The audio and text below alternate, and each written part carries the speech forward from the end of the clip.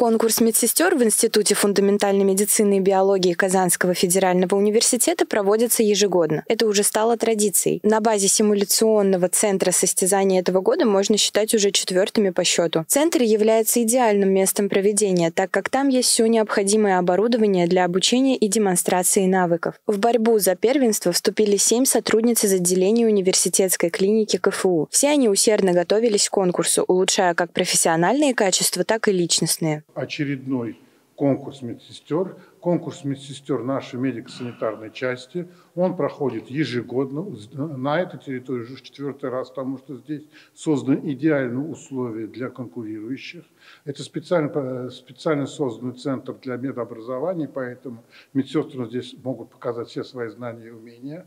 Сам конкурс посвящен Международному дню медсестры. Мы с, э, с удовольствием активно участвуем в нем как в качестве, так сказать, жюри, так и тех, кто на при, принимает их на своей территории. Конкурс проводился в два этапа. Изначально девушкам предстояло продемонстрировать навыки по двум направлениям. Техника постановки внутривенного катетера и основы техники выполнения реанимационных мероприятий. Первое испытание требовало максимальной точности, уверенности, умения в работе с инструментами и внимания к пациенту. Для второго задания главным стала правильность выполнения действий, так как она является решающим в спасении жизни пациентов, находящихся в критических ситуациях. В обоих испытаниях отношениях важно тщательное изучение каждого шага и постоянное совершенствование навыков. Очень волнительный день, как и девочки волнуются, так и мы все.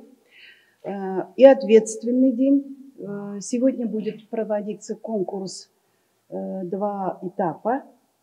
Первый, значит, техника постановки внутривенного катетера – это по стандарту девочки должны показать на муляжах конкретно каждый отдельно. И второй – основа техники выполнения реанимационных мероприятий.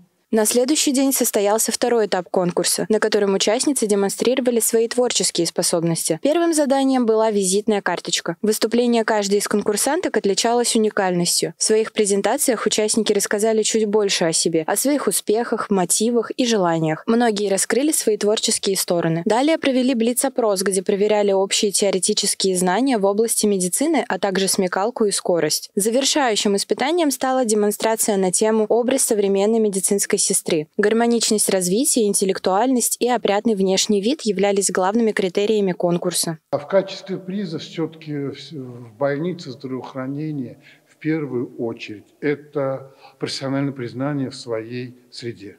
Я участвую в первый раз в конкурсе, потому что я выпускница только 2023 года. Впервые я на таких событиях. Вот.